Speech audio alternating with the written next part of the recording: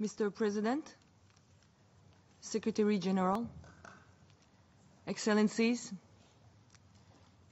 ladies and gentlemen. Last Wednesday's airstrikes obliterated Al-Quds Hospital in Aleppo. They blew apart at least 50 men, women, and children. It killed one of the last remaining pediatricians in the city. A murderous airstrike. There were almost 300 airstrikes in Aleppo over the last 10 days. Civilians, often in crowds, were repeatedly struck.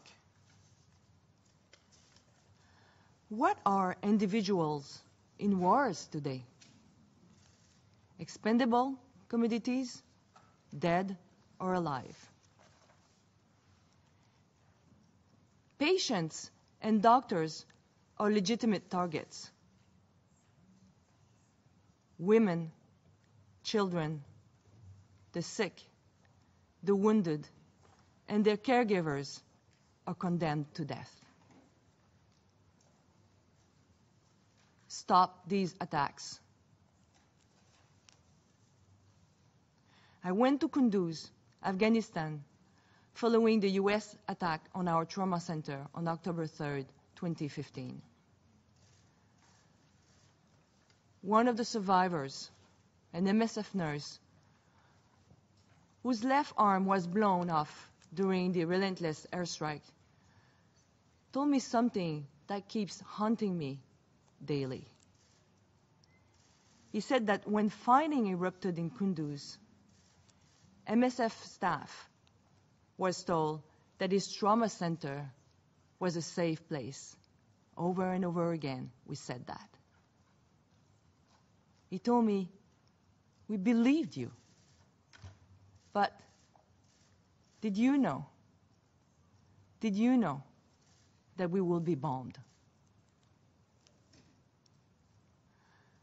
I told him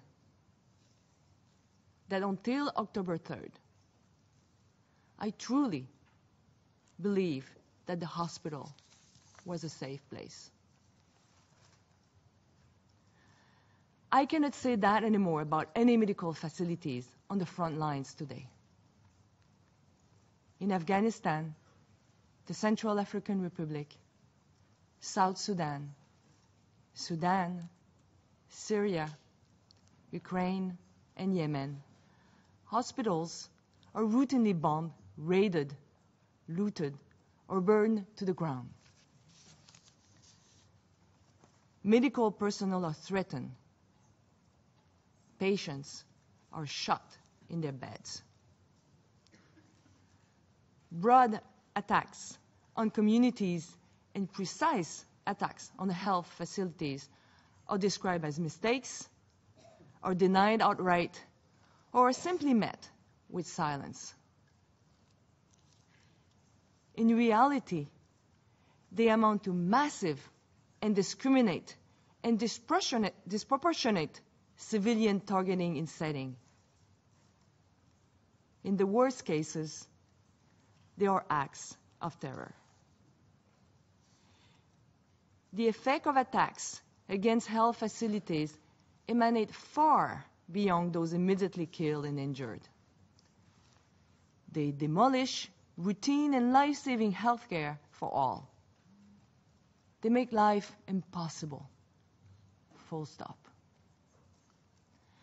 On October 26, 2015, a Saudi led coalition airstrike hit uh, a MSF hospital in Haydan, in the north of Yemen, leaving at least 200,000 people without life saving care. It was the first of three of MSF facilities partially or completely destroyed in Yemen over a period of three months. Attacks on MSF facilities provide only a glimpse into the brutality of war. Attacks on other hospitals and clinics and schools, markets, houses of worship are routine local health workers bear the brunt of these abuses. We are at a deadly impasse. We can no longer assume that fully functioning hospital in which patients are fighting for their lives are out of bounds. Hospitals and patients have been dragged onto the battlefield. In Jasim, a town in southern Syria, citizens have protested in front of a hospital to prevent its reopening. They know what happens to functioning hospitals. We are facing an epidemic of attacks on health facilities, impeding our ability to do our core work. And to date, our calls, our calls for independent investigation have gone unheeded. Accountability begins with independent and impartial fact finding. Perpetrators cannot be investigators, judges, and juries. Make no mistake. We will relentlessly denounce attack on healthcare. We will, we will speak out loudly and with force about what we witness in the field. Medicine must not be a deadly occupation. Patients must not be attacked or slaughtered in their beds. We, physicians, take an oath when we join the medical profession. We treat everybody, every individual, regardless of who they are, and regardless of their religion, their race, or on which side they may fight. Even if they are wounded combatants or if they are labeled as criminals or terrorists.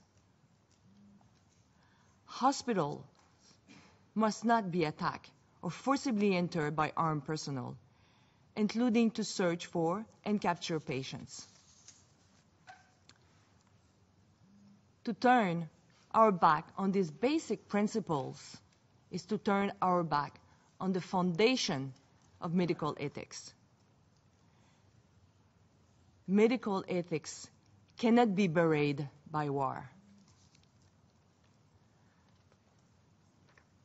The neutrality of wartime medical care cannot be stamped out by state sovereignty or domestic law especially in an age of counterterrorism and counterinsurgency, characterized by shifting alliances and murky rules of engagement.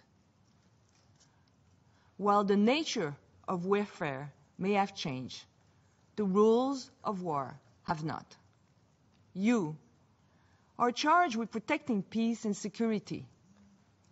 Yet, four of the five permanent members of this council have, to varying degrees, been associated with coalition responsible for attacks on health structure over the last year. These include the NATO-led coalition in Afghanistan, the Saudi-led coalition in Yemen, the Russia-backed Syrian-led coalition. You, therefore, must live up to your extraordinary responsibilities and set an example for all the states. I repeat, stop these attacks. The discussion here today cannot amount to empty rhetoric. This resolution cannot end up like so many others, including those passed on Syria over the past five years, routinely violated with impunity. Healthcare in Syria is thematically targeted, and besieged areas are cynically denied medical care. Uphold the obligations. Ensure the protection of the impartial provision of healthcare in conflict. Also, support the obligation of health workers to treat all sick and wounded without discrimination. Dr. Maaz, the pediatrician murdered in Aleppo last week, was killed for saving lives. Today, we remember his humanity and bravery, shared by so many patients, nurses, doctors, communities, and MSF staff caught up in conflict. For their sake, translate this resolution into action. Recommit unambiguously to the norms that govern the conduct of war. This resolution must lead to all state and non-state actors stopping the carnage. You must also pressure your allies to end attacks on healthcare and population in conflict areas. We will not leave patients behind, and we will not be silent. Seeking or providing healthcare must not be a death sentence. You will be judged not on your words today, but on your actions. Your work has only begun. Please make this resolution save lives. Thank you.